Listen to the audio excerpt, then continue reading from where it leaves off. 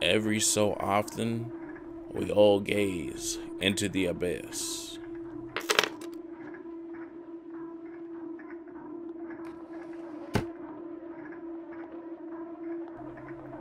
It's a depressing fact of life that eventually the clock expires.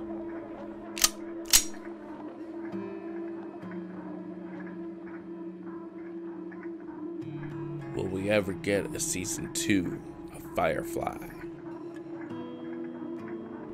Eventually, the sand in the hourglass runs out. It's the leaving behind of everything that matters to us that hurts the most. Why was Justice League so bad? Real bourbon, no apologies. Wild turkey, it'll find you.